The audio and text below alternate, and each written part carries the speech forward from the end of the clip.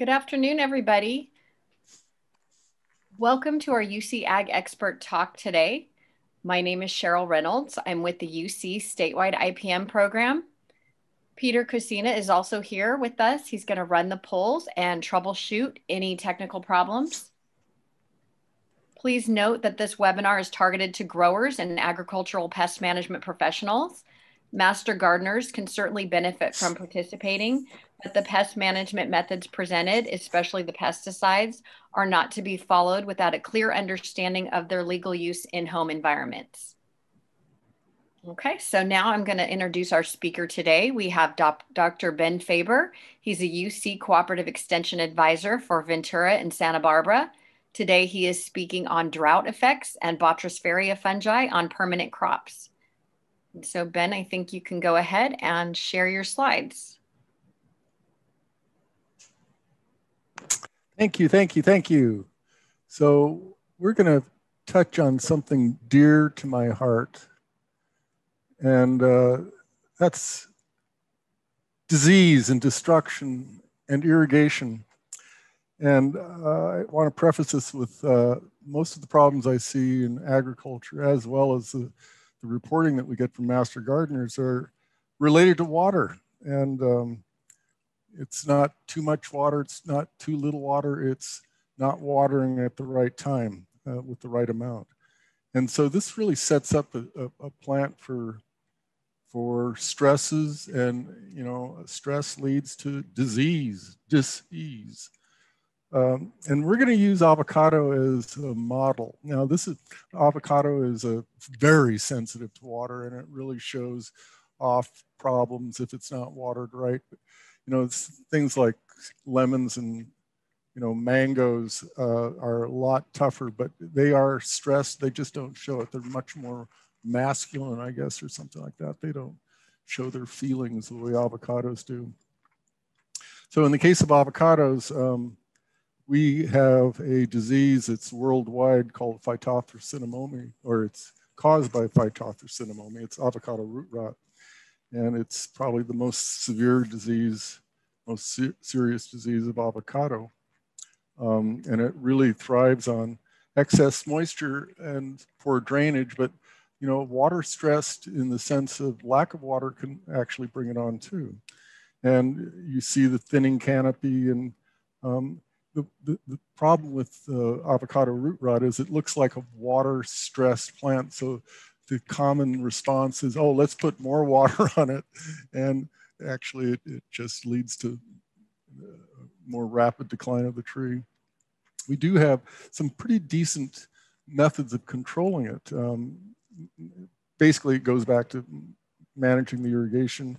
We have rootstocks that are resistant and tolerant. We know that gypsum helps mounding helps. And the phosphonates, these are a wondrous uh, material that uh, are called various things, phosphites, phosphorus acid. They come under about 30 different brand names, all of which act about the same.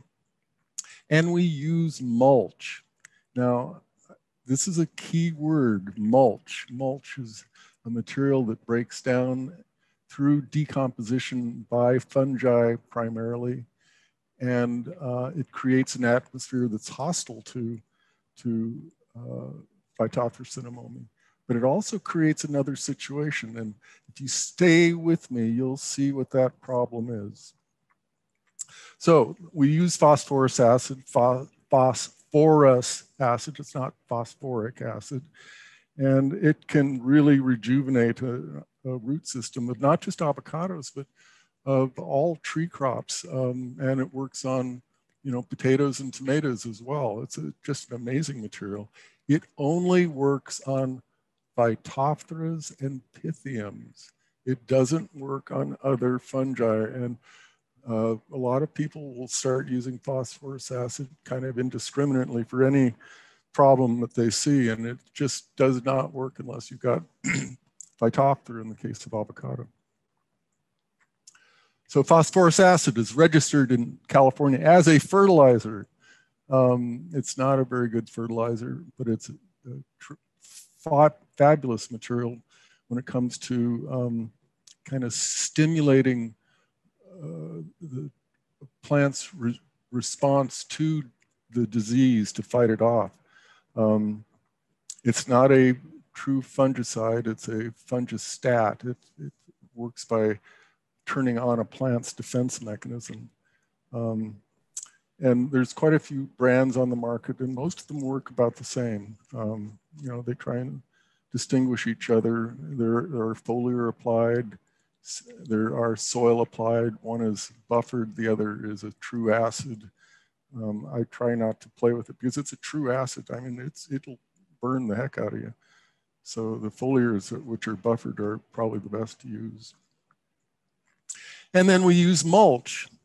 And um, mulch is very effective. It works through uh, by decomposing, um, which creates an environment that is hostile to uh, Phytophthora, but it also is hostile to a lot of other things. But one of the primary decomposers is this group of fungi called Botryosphaerias. And these are saprophytes. They feed off of dead tissue. And they will go to live tissue if you have a stressed tree. But the, you know, mulching is a very effective practice. It's a naturally natural process, natural process that uh, creates an environment that is hostile to Phytophthora. And it, it's uh, one of the common fungi found in the, in the soil where decomposition of organic matter is occurring are the Botryosphaerias. And here they are. This is not a Botryosphaeria, but this is a, another fungal species that is feeding off of saprophytically, it's feeding off of the dead tissue, creating enzymes. Fungi don't have mouths, they have enzymes that break down material and they absorb that material. And this is how fungi live. Um, and it, the, the enzymes that are decomposing the, the woody material are the ones that break down the phytophthora. Okay, we have other phytophthoras, and these are water related. These are phytophthoras. In this case, this is an avocado again, but there are many other phytophthoras that cause trunk cankers, and this is where water actually hits the trunk. And um, you know, having a mulch up against uh, the tree trunk, in, in, this case, actually creates a wet environment, which would lead to phytophthora. So in this case, having mulch against the trunk is not a good idea. Um, turns out Phytophthora mengei, which used to be called Phytophthora citricola, uh, is um, uh, treatable with the phosphonates as well, with phosphorus acid materials. Um, it is quite effective, but you have to get the phosphorus acid or the buffered material right on, on these cankers for it to work. And this is one reason why we, we get these trunk cankers. It's because water is getting on the trunks and creating this environment. The phytophthora love water. They love to float in water. They love to swim in water. And if you create a wet environment up against the trunk as you would create if you had mulch up against the trunk, in this case, you're going to create that environment. And when you have poor irrigation, you're going to create a situation where you have a wet trunk and Phytophthora is going to move right up into that trunk. And it can actually keep moving on into the fruit. And so this is Phytophthora citricola, Phytophthora mengei that's on fruit. And um, uh, it, it is uh, responsive to the phosphonates as well. So the, the uh, are water related. They are water stress related they, in the sense that too much water, but also it can happen if you lack water. Any stressed tree is going to be more prone to, to phytophthora. Now I'm moving into Dothiorella. Dothiorella is one of the Botryosphaerias, and it can cause a fruit rot as well. And uh, causes a kind of shrunken fruit. It causes uh, uh, usually it'll be fruit lower down in the canopy uh, where, where, you get rain splash off the, the, um, the mulch. Okay, remember Botryosphaerias are decomposers of organic material, but they will go to for example, a, a sunburned piece of fruit, which the sunburn is actually a, a dead spot. So Botryosphaerias are decomposers. They're saprophytes looking for uh, organic dead material to, to decompose. So I'm leading up to something here. Drought, stress, or salt damage can lead to toxicities in the tree, can lead to deficiencies, it can lead to disease, it can lead to death, it can lead to more pests, it can lead to heat stress, lack of water means the tree can't transpire and can't cool itself. So you end up having dead tissue and it can reduce tree growth.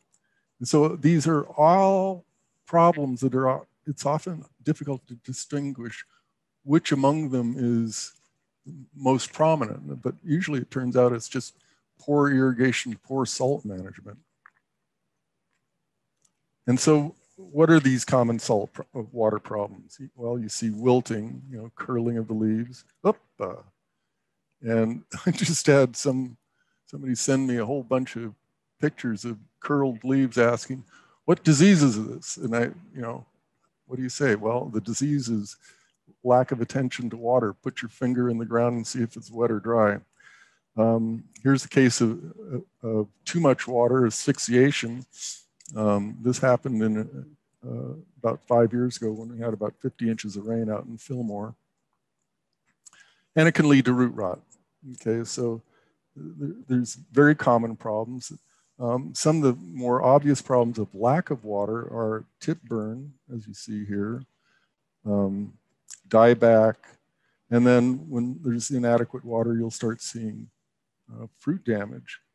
Um, and this is sunburn that results from uh, basically a lack of canopy to protect the fruit from, from sunburn. And then eventually you'll see uh, leaf drop and, and, shriveled fruit. And so this shriveled fruit often is Dothiorella affected fruit. So the, the fruit, the leaves start shriveling. Um, you start getting dieback occurring and the Dothiorella moves into the canopy, starts feeding on the dead tissue of the leaves and the dead tissue of the fruit. So here's an example of, of a clear uh, lack of water or salt damage leading to a, um, a disease, uh, what we call Dothiorella or um, leaf blight or fruit blight. And these are this is these are problems that no phosphonate is going to affect. These are not caused by Phytophthora. They're caused by um, a fungus, the Botryosphaerias. Okay, here we go. Thank you. Um, so some of these problems we may not see wilting. Some of this, these problems are in the fruit. Um, you don't see this so much. Well, you do see it in avocado. You'll see black spots sometimes showing up in water stressed uh, trees. But uh, in the case of citrus, this is, uh, we've, we've had drought in the past and these are little satsumas. And They show what's called endoxerosis, it's kind of drying up in the center. Uh, you'll see some rind staining showing up. And these all show up in, in water stressed trees. Um, and uh, so you don't always see it in the canopy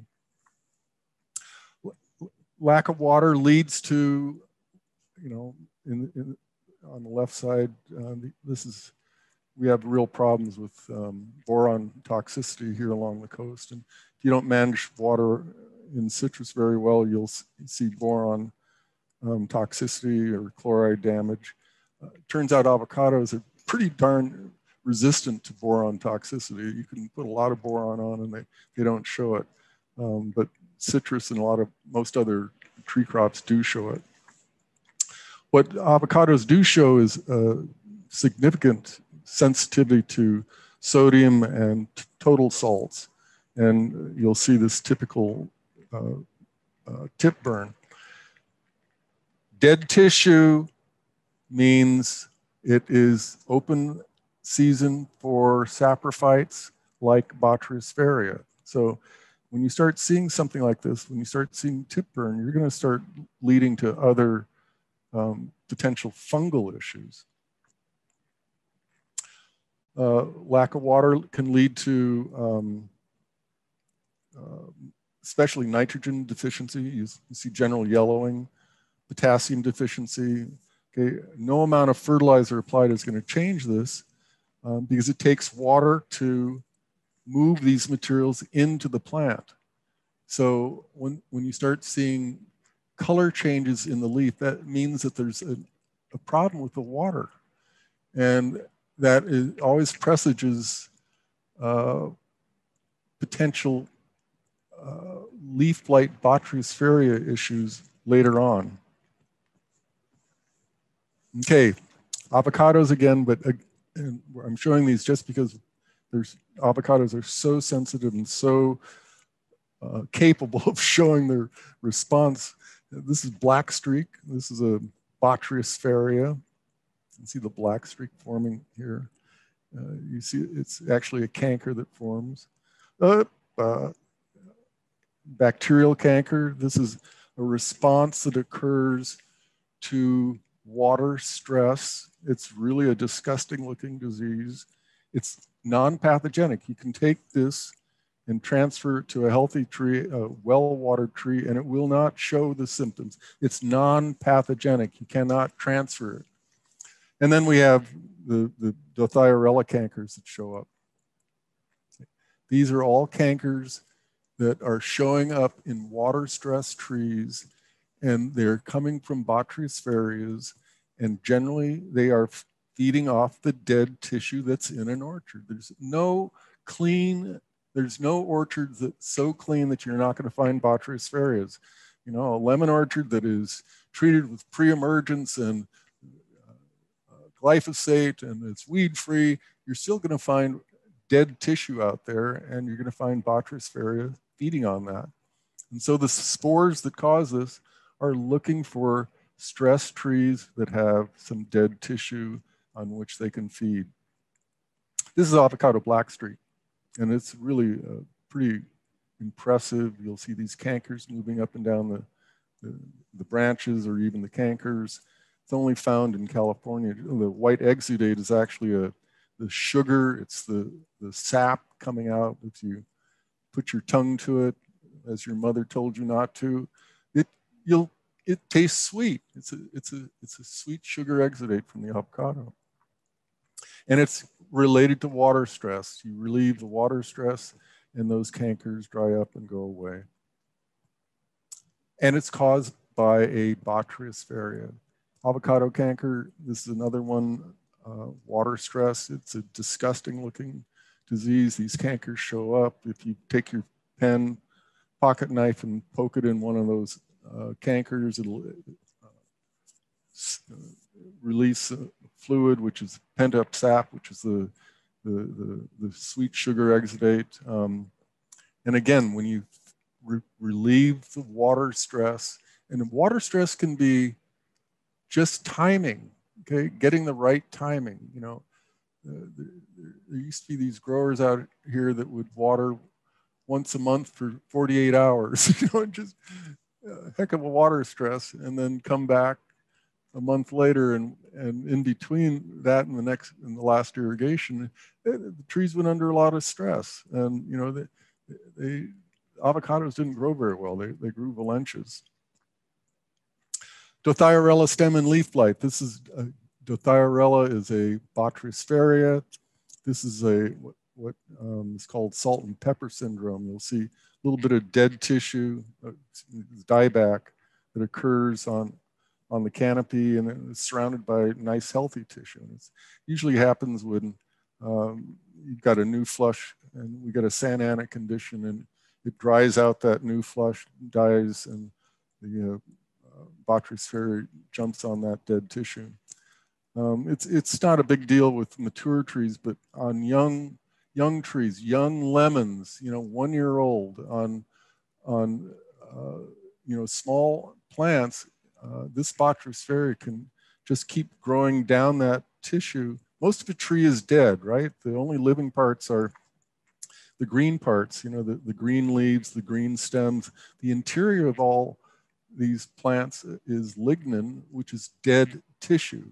And that's exactly what the Botryosphaeria are looking for. They're looking for dead tissue to feed off of. and they will feed off of a young tissue all the way down to the, the, the rootstock and you lose your tree. Dothiorella, it's a, it's a fungus, it's a Botryosphaeria, it's the same thing that causes the fruit rot, Dothiorella gregaria. Um, where does the, the fungus come from and the spores come from? It comes from the dead tissue that's on the ground. It's just waiting, looking for, lurking for a water stress tree. Um, and oftentimes these are, it's not a, you know, a primary pathogen. It's one of these secondary pathogens that, you know, once you relieve the stress, a lot of times the, the symptoms go away. More water stress, Botryosphaeria, they cause stem blights, leaf blights, um, Botryosphaeria uh, gummosis. I've seen this on citrus.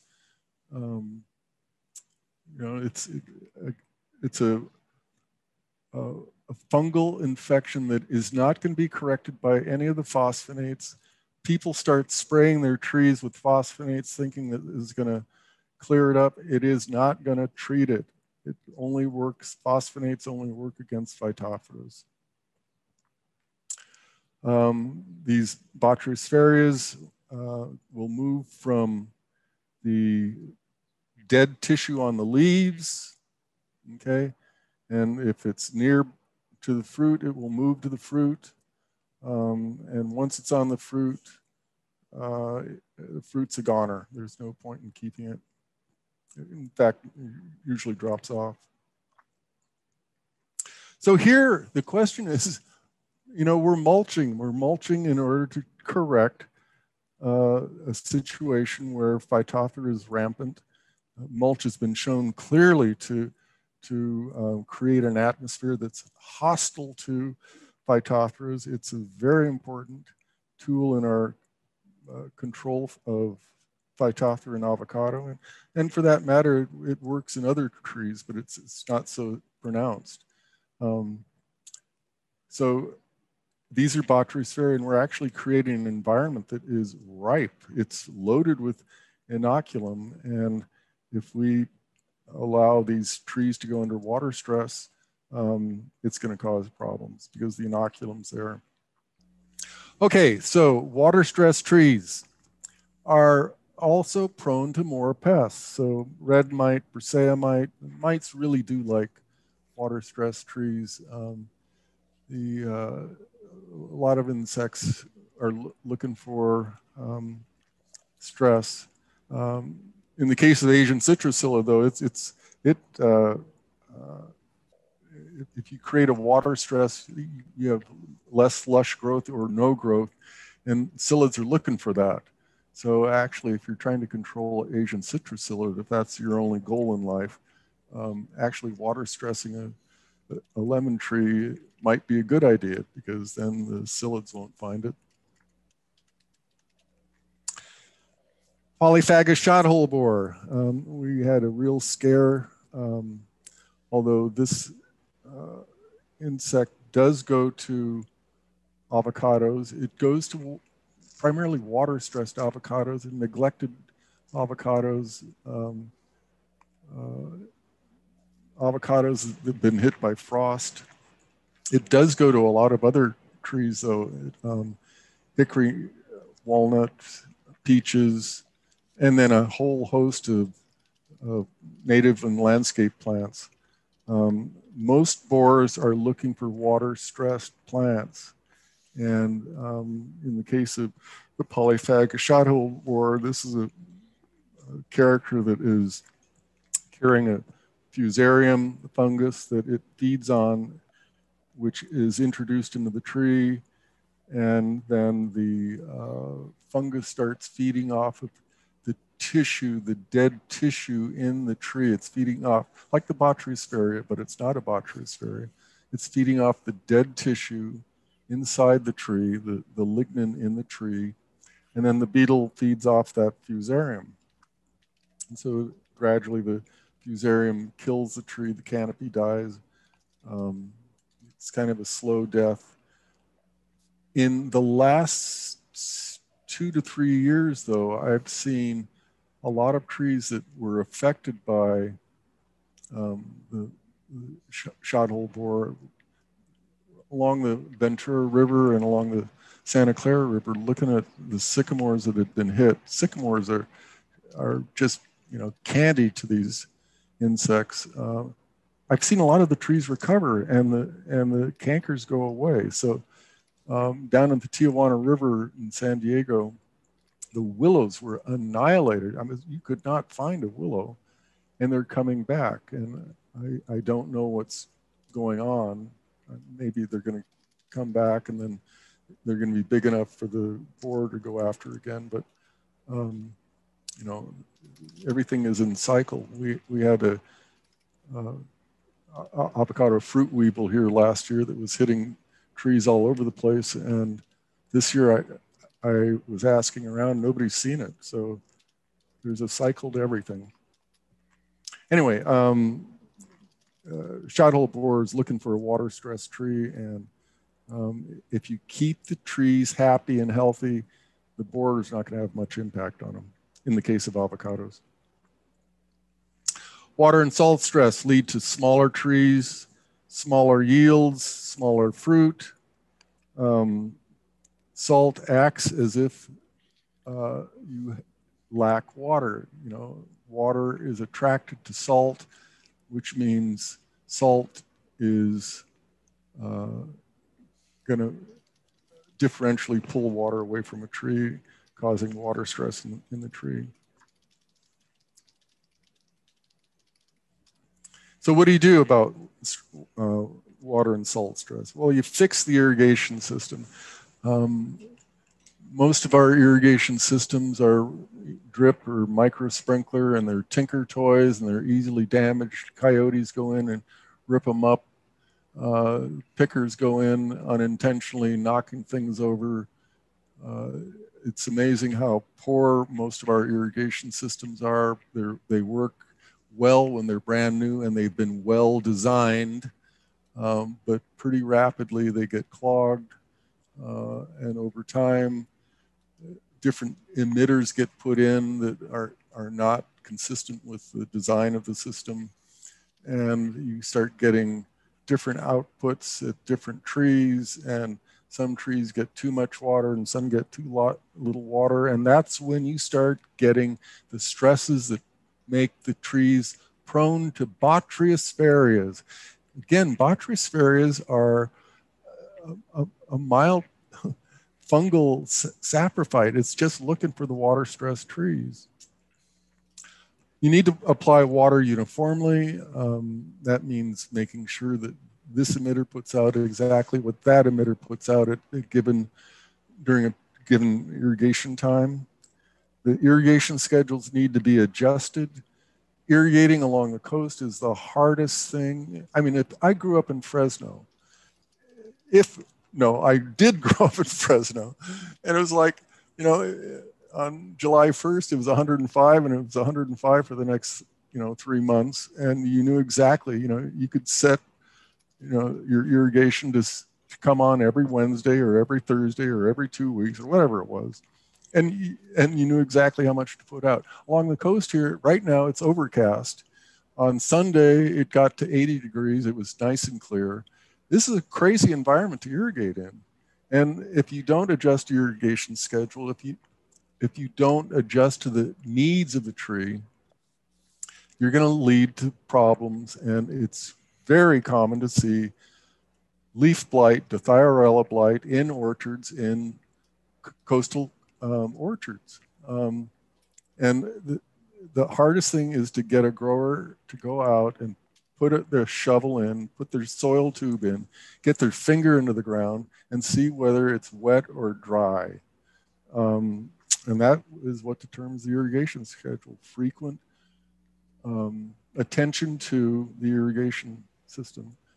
And then we all, all the waters that we have here, I just heard a, a presentation about irrigation in Israel and they're using reverse osmosis water in their agriculture now. I mean, that's pure water where they have to add salt to the water in order to get infiltration. Well, we don't have that problem. We got too much salt in our water and there has to be some compensation for that accumulation of salt that we put on at each irrigation. And so, uh, we, you know, you can, you know, devise some sort of irrigation fraction, leaching fraction, um, adding 10% more, or occasionally adding uh, extra hours uh, uh, with every third or fourth or fifth irrigation in order to, to leach. Um, every orchard's going to be different because every orchard has different soils. It's got different uh, aspects and, and um, north facing and south facing and and all the wells have got different um, salinities. So it's and and then we're really dependent on on rainfall.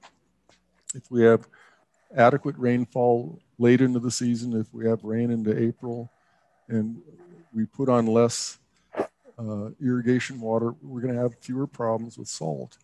Um, when we have no rainfall or we only have December, January rainfall, then we have to worry about a leaching fraction. So um, uh, th that has to be included in, in the irrigation schedule, a, a, a leaching amount. So when we have inadequate water, some people try and, and spread it out. Um, and that's not the way to do it because you're only going to cause destruction across the whole orchard. Really, what you need to do is think of, of breaking the orchard into um, blocks and irrigating according to the needs of the block. And if there's inadequate water for doing the whole orchard, um, actually go through and um, uh, head back the orchard or that part of the orchard, you know, stump it back. Um, and we saw this six years ago uh, quite extensively. Whitewash and pray for rain. Um, but don't try and spread water out because you're only going to set up the, the trees for, for disease and stress. Okay, so what's the take home lesson? You can't buy anything to correct a salt problem. There's a lot of stuff out there, magnetic water, you know, electronic water, you know, there's nothing you can do to, you know, you can't extend water um, other than doing good water management, making the irrigation system work right. Um, you, you cannot buy a pesticide, you cannot buy a fungicide that's going to solve the problem. It's you either irrigate right or uh, plant to the, the amount of trees, the amount of water that you have for the trees. We have a newsletter, um, Topics and Subtropics. It uh, comes out quarterly. It's available at this uh, link here. Um, and then we've got a, a blog that comes out three times three times a week usually. And it's usually uh, topical you know what's going on what i see. Went out and saw a whole bunch of hail damage the other day. I'm going whoa whoa. And it was pointed out to me and i when i saw it i thought oh man this is stink bug damage. And and i was told by the pca oh no that's uh, that happened with the the hail that occurred uh, three weeks prior so, um, you know, just a symptom is only a symptom. It doesn't tell you what caused the, the symptom. So you need a lot of information. So with that, it's four o'clock. And if there's any questions, we can answer them. Okay, so I will go in the order I think that they came in. So the first one is how can you tell the difference between Phytophthora and Sun Scald on avocado? It looks the same. Phytophthora and sun scald. Sun scald on the fruit or on or on the trunks. Sun scald is typically a, a dieback caused by uh, sunburn, and uh, you know Phytophthora is damage to the roots, which means damage to the canopy, which means opening up the canopy to sunburn or sun scald. So sun scald is, is a symptom of, of probably a root problem, which, you know, they may be linked or, or they may be completely separate. Because if you go through and you prune a tree and you open it up to, to sunlight, you're going to get sunburn. I'm presuming sun scald and sunburn are synonymous. Um, so anytime sun is on tissue that has been in the shade, uh, it, it can sunburn quite easily. And so, you know, if, if you have a sudden problem like a Santa Ana blow through and knock the leaves off or you have freeze, you got to get in there and whitewash to prevent sunburn damage. Okay, and we just got a clarification on the last question I asked you about the difference between Phytophthora and sun scald. Um, she was clarifying it to mean Botryosphaeria. Okay, Botryosphaeria is it looks it's a leaf blight. It's a dieback. Um, it's uh, Phytophthora root rot. There, you see a thinning canopy, thinning leaves smaller leaves, uh, yellow leaves. You see dieback, see what's called staghorning. If you go down and you start digging around, you cannot find any roots. And if you do find any roots, they're black. In the case of Botryosphaeria, the root system can be perfectly healthy. And it's, and it's starting on the dying tissue that you find. So you, you start there and, and um, uh, but the key, the key is get on your knees and look at the roots. If you find roots, you don't have root rot. You, have got um, Botryosphaeria. And, and, you know, kind of review what your irrigation pro program's been, or has there been a Santa Ana condition? In the in this Las Posas Valley, boom, suddenly off that Santa Ana that we had about two, three weeks ago, I mean, every orchard showed it and, and if it suddenly shows up like that, you know, it's not root rot. It's, you know, when it's area wide, you know, it's something else. Okay, uh, the next one here are slower decaying mulches like bark mulch uh, less problematic than wood mulch or leaf mulches? The best mulches are the ones that are persistent and are there long enough so that the root architecture that develops in response to that mulch doesn't disappear suddenly. And so a grassy mulch, you put it out, eh, you know, even if you put a foot of it out, it's gone within four to six months. And so if you get roots adapting to that mulch and suddenly it's not there, boom, they're exposed and they're, they go into stress. So a woody mulch is the best mulch for just about any situation. Okay, there's a few more questions here about the mulch. Um, so I'll combine a few of these. What is the recommendation for mulching around the tree? Um, is it three feet away from the trunk? And then what is the thickness of that mulch?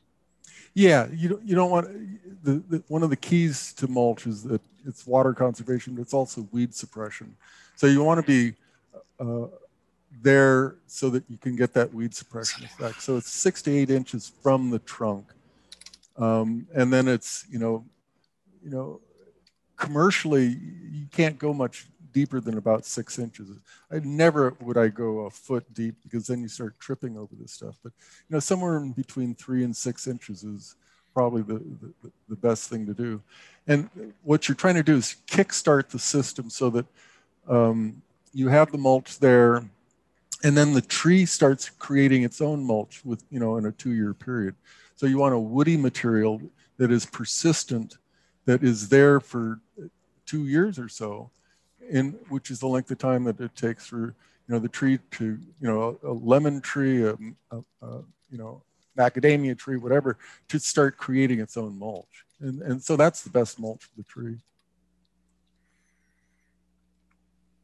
Okay. Um, how do you apply enough water for leaching salts, but not too much to cause Phytophthora? Ah, boy, that's a secret. I can't tell you. Anyway, um, the, the, the key is figuring out the irrigation cycle that when you apply five hours, eight hours, 10 hours, 12 hours, you put on a depth of water that goes to 18 inches, okay? So you figure out, okay, every time I irrigate, I'm gonna irrigate and I'm gonna get 18 inches worth of infiltration. And then the key is figuring out when do I come back, and that that is, um, you know, you can kind of get a sense of that um, with the weather, but you know, mainly you're looking at day length and wind and humidity, not so much temperature. Anyway, you dig through the mulch and you grab a handful of soil and if, and if the soil holds together and you can see the, the palm, the, the, the pattern of the palm of your hand, you have adequate moisture. When you squeeze that, and this is true for sandy soil or clay soil, if you squeeze it and you release the pressure and you see cracking happen, it's time to irrigate. So that sets up the schedule. The amount that you put on is going to be 12 hours in, in order to get 18 inches worth of infiltration. And the timing, the spacing in between the irrigation is going to be controlled by how, when you take a handful of soil down to about four inches and you squeeze it and it holds together or it does not hold together. So that'll give you the sense of, do I need to go one week or three days or 12 days or two weeks or three weeks? You know, there, when we start getting May, gray, June gloom, you can go quite a bit longer in between irrigations. And so the, Phytophthora is looking for a tree that lacks oxygen. Every time you irrigate, you remove air from, from the soil. And that is what Phytophthora likes. So you're trying to irrigate as little as you need to um, in order to prevent Phytophthora from, getting established. So, you know, it, it's, yeah, it's a, it's a real art. And, you know, you can use tensiometers, you know, you can use soil moisture meters. I mean, there's a lot of equipment out there that, that can help you identify the soil moisture content. And so learn how to use those as well. Oh, and those El Cheapo, you know, $10 soil moisture measurements, you know, it's a little rod, you know, they're cheap, you know, if you drop them, they break and you go out and you buy another one for $10, but they work. And so that they, they if you don't hit a rock, they work, but uh, they, uh, they, they can help you learn when to irrigate. So I think this question um, is probably relating to that. Uh, it came in during that part of the the message. Which device is the better one, and where can we find these devices? Oh gosh, there's some. I mean, I really love tensiometers, and the the thing about tensiometers is they're smarter than we are because if you lose water tension in there, that means you weren't out there looking at them enough. And so if you're monitoring a, a, a tensiometer and it's in the right spot, boy, it, it tells you exactly the stress that the tree is seeing. But there's a lot of other things like, and, and you can usually find them, you know, um, Irrometer and uh, uh, what's the company up in Santa Barbara makes them, you know, you can get a, you know, a good 18 inch one for $75. And, you know, if they're protected, they, they work really well. Um, you can get decagons for about $300. You know, they, they um, you can hook those to your computer and, um, you know, they're all online. Um, uh, and again, you know, those El Cheapo little water wands do work.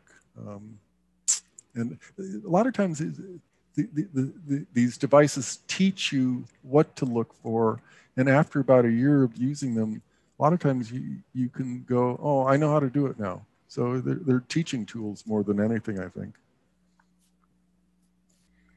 Okay. Um, any suggestions for what is the best mulch to use for avocados on sandy loam or clay loam soils? Woody persistent mulch is what you use for all tree crops. You know, it doesn't matter what the soil is. It's you want something that is there long enough that the root system adapts to what is there. If you put something down that is there for a short period of time, disappears, and the roots have started learning to use that, and then it's gone, that's bad news for the roots. So a woody, persistent material, not too coarse. You don't want to have it, you know, planks of it, but you know, one to two to three inches in diameter, so, so you don't trip over it. Okay, here's one that says, um, and I'm not sure if I'm going to pronounce this right. I saw a Netafim schedule that recommends watering with drip daily with less water in Israel for consistent moisture. Do California farmers follow these recommend, recommendations and do you agree? Yeah, Netafim um, is a reliable company. They make uh, irrigation equipment. Um, this uh, frequent irrigation I've seen as much as five times a day. Every time you irrigate, every time you apply water, water is excluding air. So you create a kind of tense environment. So the, this technique of frequent small irrigation came out of Israel, I think. Um, and you know it was designed to kind of keep salts in dilution. Uh, I I don't think we have the, the level of salts. I, I mean I, I, saw them irrigating with with some pretty pretty saline water there along the coast, uh, and I don't know if we have a need to do anything like that. I, we need to manage water so that uh, we do include a leaching fraction. We do keep salts diluted. Um, but you know, if you're doing daily irrigation, if you get a Santa Ana blowing through, you're behind. No, you, can't get enough water on. You're you're screwed. So uh, no, I don't agree with it. I, I think we need to irrigate as infrequently as possible with a volume that wets the soil to a depth that the, is in the root zone and that the, the trees can, um, can access. Now, if you're a young tree, if not, if you have young trees, you know, you may be irrigating, you know, small, small, two or three times a week, or, you know, Santa Ana comes in, you know, you're putting on five gallons at each time. But, uh, you know, for mature trees, I don't see any need to do daily irrigation. You know, it's, again, if we get a Santa Ana, you're going to be behind. It's, you know, it's going to suck every single, and I've seen trees within two days show Botryosphaeria, you know, because of lack of water after Santa Ana. So. Okay, the next one is, um, so removing all dead tissue constantly from the tree is the best practice um, even small dieback branches that are going to fall off eventually anyway?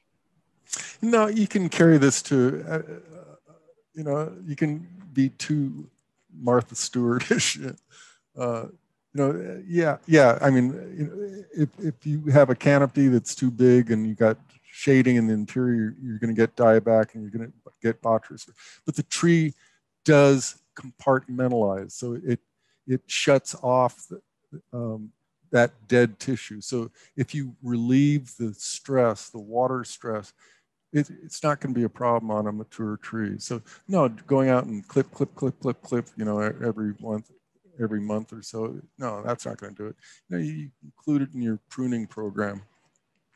So, you know, it, unless it's some major event that's come through like a freeze, like a heat spell, like we have 118 degrees, you know, you leave that until the tissue pushes out, the new tissue pushes out and protects the tree, and then you go through and, and clear it out. But, but you only do that uh, with major events, not on a, you know, a small salt and pepper uh, problem now and then. Okay, uh, what is a better way to apply water to the base of a tree? One big bubbler or a bunch of little bubblers spaced around the tree's root system? oh, you know, the drip irrigation works. It really does. It's it, and uh, a dripper will more consistently put out a uniform amount than a micro sprinkler. Problem is that they clog, and, then once they clog, then you have problems. Some of these inline um, uh, drip systems like, uh, uh, oh, I'm blanking right now, Netafim's got them. Um, but all the big companies have got them now. They, they, they've got larger aperture. They tend not to, to clog so well. They still need fil filtration. Um, and, and if you put out drippers on either side, you know, this is for avocados. Um, because uh, avocados are shallow rooted. They need a larger wetted area. With with with um, citrus and most other trees, you don't you know, they've got a deeper rooted system, so you don't need to uh, irrigate such a large area because once water hits the soil surface, it onions, you know, it balloons out lower down, and so it wets a larger area and volume lower down. So um, I, I would go with more drippers because a dripper applies water at the rate that intake occurs. A bubbler floods a system, excluding all air. So a dripper system is kind of a nice compromise of getting water there and keeping good aeration. Uh, having said that, bubblers don't clog. You don't need a filtration system. Um, but you know, you know, it's, uh, it's, it's, it's on a riser. It's probably going to get kicked and broken. Um, so I don't know, you know, all, all, these systems boil down to maintenance and, and how you treat them. So, you know, if you like bubblers, you know, and you know how to use them, go ahead and use it. But uh, the modern drip system is works pretty well as long as it has a good filtration. Okay, how do you determine the right place to install a tensiometer? The right siting of a tensiometer, a tension meter, is uh, with a representative tree, not a disease tree, not a, a tree that too small or too big, but a representative tree in the orchard in the wetted zone near within the canopy. Okay, so if you have an orchard where the emitters, you have micro sprinklers and they're spread halfway between each tree so you don't wet the trunk and have cankers showing up. You space the, the tensiometer in row uh, under the tree, you know, uh, canopy in line with the, the emitters. So if, if you've got drip emitters, you're going to put it slightly to the side of the of the drip line in between the, the, the tree trunk and the and the emitter. It, but it, it's it's got to be in the wetted zone. You know, I, I once had a grower call me out and said my, my tensiometer just doesn't work. It doesn't change, and he had it in the middle of the alley, and and you know where it wasn't wet, where there weren't any roots. And I said, "Why is it there?" And he said, "Oh, it's easy to read." Well, that's maybe easy to read, but it doesn't work. So. Okay, another one. Um, does black streak differ substantially from other stem bots? Um, is it a different species within the genus? You know, this is interesting. Um, oh, I'm sure the Botryosphaerias and, and when I say Botryosphaeria, I'm, I'm talking about similar fungi. There's, um, golly, I can't remember. There, there's at least three different large genera that are similar to Botryosphaerias. Um, there's about 15 that uh, Akif DNA'd, and uh, he was working on Black Streak, and it's different. And when he retired, retired, I don't mean he retired, he when he left UCR to to go work on grapes, those nasty vines up there at UC Davis and left it was alone with you know plant pathologist. Um, uh, he, hadn't uh, identified the, the, the species of, of black streak. But the, see, that was the interesting thing. For years and years and years, it was said, "Oh, this is a viroid." Well, why is it a viroid? Well, we don't know what viroids are, so let's let's call it a viroid. it's sort of like let's put it in this box here because we don't know what's in that box. And you know, he, he did some really good work. But at, at, at this point, I, I don't know if we know what the species is. Okay. Um, if trees are located in very rainy locations, would that affect the level of salts? You know, uh, thank gosh for rain, but then, you know, thank gosh that we don't have rain because almost all the diseases that we have are soil-borne diseases. And I'm not just talking about avocados. I'm talking about all agriculture in in California. You know, if you go to a rain-fed environment like New Zealand, they're dealing with these fruit diseases and leaf diseases, and they're spraying copper and doing all these things. They don't have any salt problems, but man, they got a lot of other problems, and they're spraying all kinds of fungicides. Oh, I don't know what I prefer. You know, a California Mediterranean environment with salts. Um, and you know, this is an issue wherever Mediterranean agriculture is. In, in Chile, in New Zealand, excuse me, in, in Australia, and Spain, and Turkey, and Egypt, and Israel. They're, we're fighting salts all the time, but we don't have most of these fruit diseases that um, require fungicides that they have, they have to do in New Zealand and South African places. Okay, a uh, couple questions about watering with roots. Um, aren't roots good at finding water? And then does deeper watering lead to the deeper rooting? Roots do not seek out water. Boom. They do not seek out water. Roots do not seek out water. Roots grow where there is water. And so if there's no water and there's water, you know, unless you, are getting some kind of water movement that that this, the, the roots can sense, you know, you're getting some kind of, uh, you know,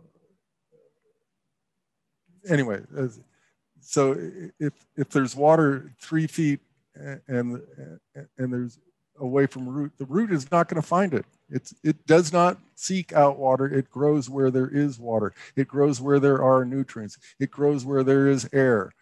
So um, it, it, I don't know how to answer that question any better than that. So you're not going to, if, if you water shallowly, you know, this is a real problem. You know, if you try and grow an avocado in a lawn and you got a, the irrigation on the lawn coming on five minutes every day and, and you're only wetting the top, you know, two inches, you're going to accumulation of salts, and that's where the roots are, and the, the, the avocado is going to die. You need to do deep irrigation in order to get the resource deeper down so that the roots can be deeper down. But if, uh, and that's the only way roots are going to grow deeper, if, if there is water and it's got to be water from the surface down, or unless you've got some kind of buried drip where you get some kind of movement of water up, you know, through kind of capillary rise, uh, then you'll find roots deeper down. But uh, you know, shallow irrigations are going to cause a shallow irrigation, excuse me, shallow root system, and um, if, if there's water three feet down, the roots are not going to find it. Okay, there's another one. Um, at what, and I hopefully I'm pronouncing it right this time, uh, tensometer centibar reading is best for triggering irrigation without stressing the trees too much? Tensiometer, tension meter, tensiometer. A tensiometer is typically used at a, about 25 centibar, and um, that's kind of year in, year out. If you know that you're kind of go into a mild weather situation, you know, it's May, gray, June gloom, you can let it go to 40 or so because, you know, you, you know that the tree is not going to go under immediate stress. If you're in Santa Ana conditions, which basically, I don't know if you, it's Santa Ana's can happen any month of the year now, but it used to be traditional October through March. And if you kept your eyes open, um, you know, usually they can forecast Santa Ana seven to 10 days out. Um, and then you really have to stick to the 25 centibar. Um, you know, the, uh, so if you know it's stable, you can go uh, a, a, little more dry. Um, it, but if you know that uh, you're, you're going to be in these weird situations like we've been in the last week where, where it was warm this weekend and it's cool now, I wouldn't go beyond 25 centibar. So it depends. But you know, if you want to be really conservative and really stick to it, 25 centibar. Okay, um, there is a clarification that somebody wants. Um, I thought you said mulch feeds on, but I don't know. It says Botrytis, and I'm assuming it means Botrytis and Phytophthora. Mulch is decomposed by Botrytis It's a saprophyte. And um, uh, when it breaks down the organic material, it does it with enzymes. And those enzymes when they're breaking down the woody material, they actually break down the Phytophthora cell wall. So that's how Botryosphaerias compete with, with, with Phytophthora. And that's why they can be so effective at um, controlling root rot. Okay, just a few more here. Um, uh, when only parts of an avocado tree are dying after a bout of dry, hot weather like Santa Ana, is that because part of the root system is dried out? And do certain branches get their water from certain roots? Yeah, that's a really good question. And the, the, the, the way in a mature tree, in, in, a young tree, you know, it's sort of like, uh, you know, I scavenge and, and, and it goes to everyone. It's, whereas in a mature tree, it, it, you, you can break it into quadrants. For nutrients, so I've seen this where um, part of a tree uh, is in a calcareous or uh, in, a, in a position where there's lacking iron, and you'll see just one quadrant of the tree show iron chlorosis, and the rest of the tree looks fine. Okay, that works for nutrients. In the case of water, once water gets into a tree, it goes throughout the tree. It, it moves throughout the tree. Um, so it, it, it, there isn't kind of like a partitioning with, within the tree. Uh, if you see dieback occurring on one side of the tree, that's, you know, that, you know, makes me think, oh, somebody dropped some too much fertilizer on that corner or something like that. It wouldn't be water. Uh, when, you see water, uh, when you see dieback in a tree due to water, it's usually the whole tree, or it might be the kind of like the west facing, uh, where you know you get the hottest sun, and so the, the, the transpirational demand is greatest there, and it, and it can't be delivered fast enough, and that's where you, you see the death. Um, you may not see it on the east side because there's no, you know, the transpirational demand happened earlier in the day.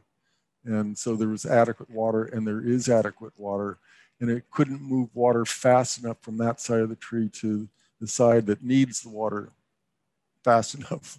So, uh, so once water is in a tree, it kind of distributes throughout the tree. Okay, and this one, um, I have an overgrown avocado. Um, I'd like to rehab the tree, pruning suggestions, and what's the minimum diameter of branch cut that they can get away with and get new bud break for reestablishing the branches? Or the maximum diameter branch cut? You can cut an avocado. You saw those, that picture of towards the end of trees that were stumped. You know, there are what are called latent buds from the day that baby tree was born and they will push through the, the wood and come out and it may take them six months but they'll come out so uh, you, you can make some major cuts it's not good but you know if, you, if you've got a 60 foot tree and you want to bring it down to eight feet well you got to make some major cuts and it will come out. As long as you whitewash it and protect it from sunburn um, it will come out. And then you need to to manage that wild regrowth that you're going to get so that you can organize it so it doesn't get to be 60 feet again. Um, and that means going out on a regular you know every three two to three to four months and then less and less over time but you know nipping backs uh, clipping back you know guiding the regrowth so yeah you can take out some big wood but you got to protect it from sunburn. Okay. Um, is incorporating mulch into the soil better to combat Phytophthora so the enzymes will be more in the soil? No. Mulch is meant to be applied at the surface. If you're going to incorporate any organic matter, you need to have a compost.